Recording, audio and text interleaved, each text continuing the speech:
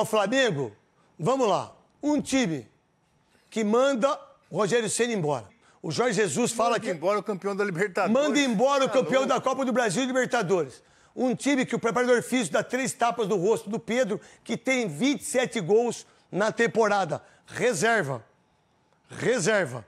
Um time que acha que é o dono do mundo.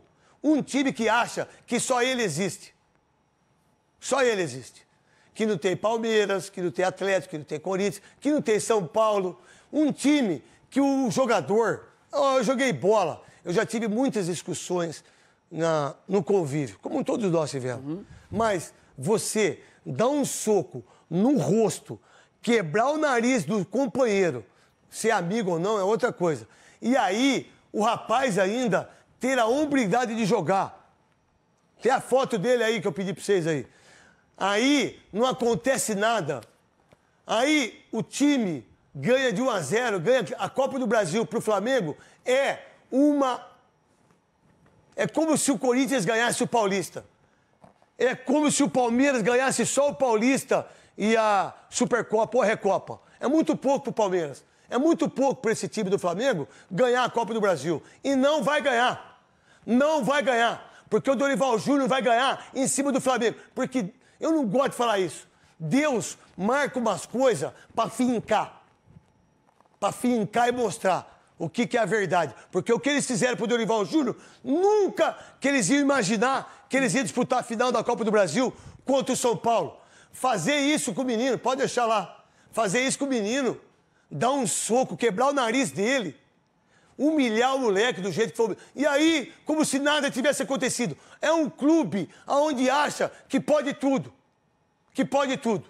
Então, eu torço contra. O único cara que eu torço lá é pro Gabigol, que eu amo esse menino. Esse menino, eu sou apaixonado por ele.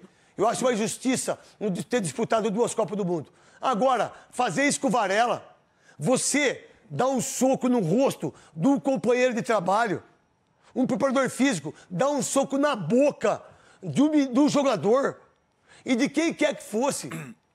Eu já partei muitas brigas em campo de futebol. Eu já partei briga aqui de dois comentaristas. Um queria bater no outro. Eu não deixei. Deveria ter deixado. Mas não deixei. Por quê? Porque eu sou boa pessoa. Eu apertei a briga do Luxemburgo com o Marcelinho. Vocês não sabem o fuzuê que foi no intervalo. E eu não deixei.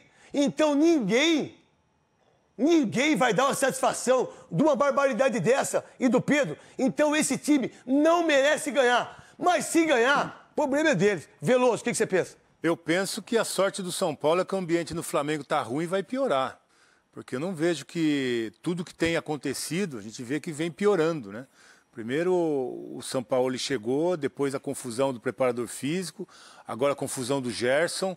E nós vimos que o, o Grêmio que passou apertado em Porto Alegre, o Flamengo poderia ter perdido de ter vencido por mais gols. Quem tá jogando bem ontem aí? No Maracanã a coisa aconteceu completamente diferente. É o momento do time. é a Vocês acharam que pênalti? tá. Eu acho que foi. Mas pro Flamengo, Grêmio e Flamengo, eles não deram. Então, a gente vê como que o Grêmio foi superior ao Flamengo no primeiro tempo ontem. Isso aí tudo é reflexo do que vem acontecendo. E o São Paulo foi com o time reserva. O time reserva empatou lá com o Flamengo. Essa foi o a bola do com o time jogo. titular. Essa era a bola. Tava 0 a 0 aí. Jogo no chão, filho. Então, é tudo isso que vem acontecido, tem acontecido no Flamengo, isso não vai melhorar em esse um mês que falta para a final da Copa do Brasil. A única forma de melhorar e vai ficar ruim para o São Paulo é se o São Paulo cair até lá. Aí melhora o Flamengo. É, se ele continuar Vamos torcer Flamengo, pra ele ficar. eu acredito que o São Paulo é muito forte para conquistar esse título pela primeira vez da Copa do Brasil. Vamos torcer.